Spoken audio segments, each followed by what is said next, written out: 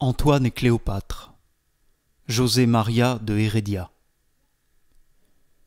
Tous deux, ils regardaient, de la haute terrasse, l'Égypte s'endormir sous un ciel étouffant, et le fleuve, à travers le delta noir qu'il fend, vers Bubaste ou Saïs, rouler son nom de grâce.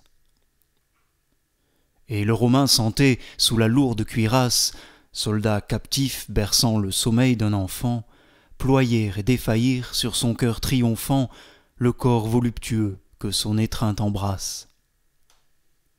Tournant sa tête pâle entre ses cheveux bruns vers celui qu'enivrait d'invincible parfum, elle tendit sa bouche et ses prunelles claires. Et sur elle courbée, l'ardent impérator vit dans ses larges yeux étoilés de points d'or toute une mer immense où fuyaient des galères.